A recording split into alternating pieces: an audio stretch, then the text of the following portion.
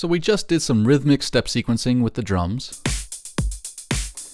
Now we're going to do some melodic step sequencing with a bass, and then also investigate this side of the controller, which will give us access to control parameters and use effects and do all sorts of interesting stuff. So let's go ahead and create a new pattern on my bass group. The bass sounds like this. This is just an instance of Monarch. Let's actually open it up at the sound level. And you will see that this is Monarch. This comes free with Maschine Jam when you buy it. What a great value. Okay, so now instead of coming to pad mode and playing it here, or instead of coming into step mode and just entering the same steps, we want to actually come in and do something melodic using the shift step to access the piano roll. Now, as soon as I do that, you see that that overlay pops up. And as soon as I touch the rotary knob, you'll see that you can actually set this to a scale. So if I take it off of minor, you'll actually see that everything changes depending on how what scale I'm using. So for instance, I am an E2 minor. This means that all these white notes are the root E2. These are E3. If I want to access an octave up, I can simply come and press up, and now this is E3, E4, down, etc. If I hold shift and use the D-pad, you'll go up and down semitones as needed. All right, so let's go ahead and just enter something in here. And I'm going to go ahead and make a shorter pattern so it's a little easier to control. And let's come step sequence. And we're just going to kind of put in a whole bunch of notes here.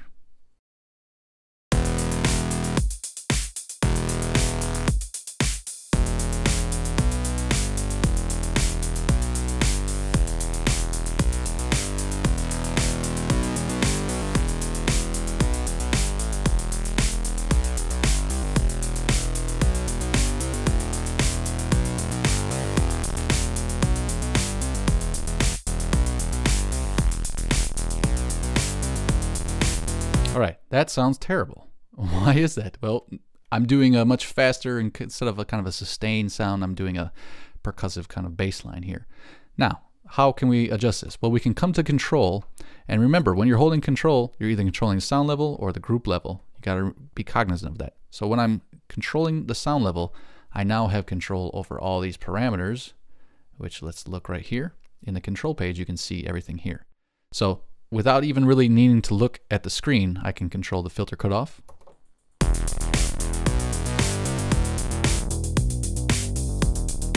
Right? And to arrow over to the different pages, we can do that. So let's get this a little more percussive.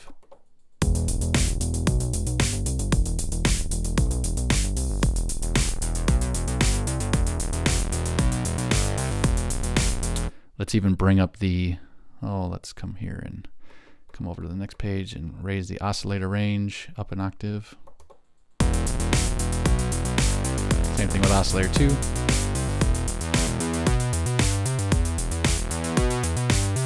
And that makes sense.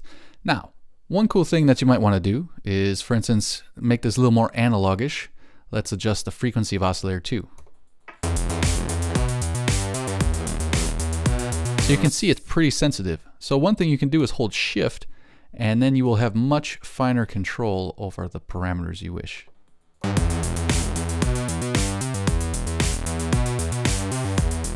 just want it slightly out of tune like that. So it's very easy to program and what's nice about a step sequencer or piano roll style like this is that you're not playing it on the keyboard, you're kind of thinking differently and maybe it's faster. You saw how fast I could write those. So experiment and play with that. What else can we do now? So controlling different options, you can actually hold down control and you see I have Monarch and I also have a compressor right after it. So if I hold control and hit down on the D-pad, now I can access the control pages for this FabFilter Pro C. So for instance, maybe I want to adjust the, uh, the ratio and I can actually just do that right from here.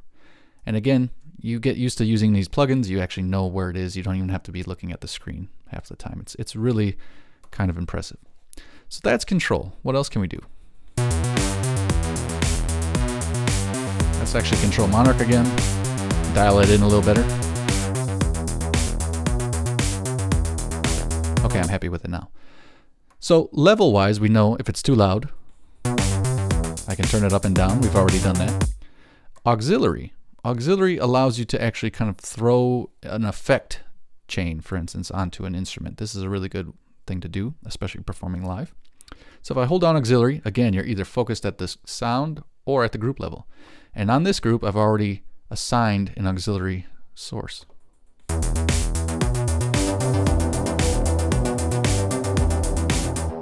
And this one is just a multi-effect I have over here on group A2.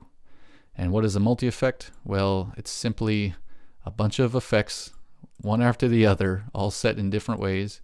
Look, there's like eight effects on this one. And instead of trying to control all different eight effects at one time, I can use an auxiliary at the group level to just kind of throw that on and off.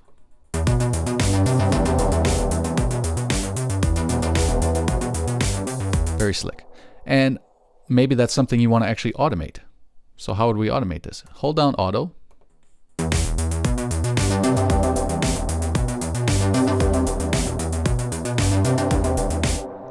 Do it just like that.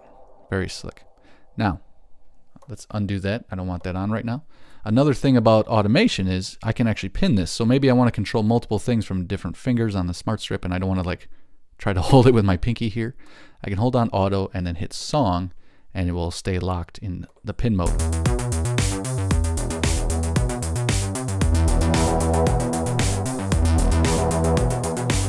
And now you can see I can even be a little more accurate just by touching exactly when I want.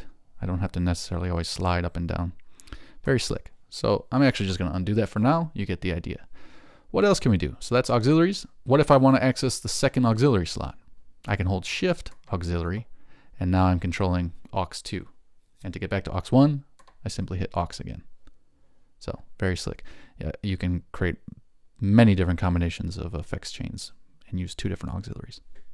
And then lastly, let's look at the macro level because sometimes the macro we saw here when we were controlling Monarch, right? Lots of pages to worry about. Maybe I only want the essential things to control at one time. And so I want a group macro that allow me to do all this. So if you come to the macro page and you come to pages, you can actually create your own macros. So let's come to my bass. Let's come to Monarch. Let's come to the filter and assign the cutoff to one macro knob. So this is very easy. I don't have to worry about am I controlling a sound or group or whatever. I can just come to the macro and adjust my cutoff. Right? Very, very helpful. And this is very easy to do. And what I like is you can even space this around. So maybe over here, I want to go ahead and even use something like a performance effect, which is also on this group that we haven't talked about, but I can also just have it ready to go.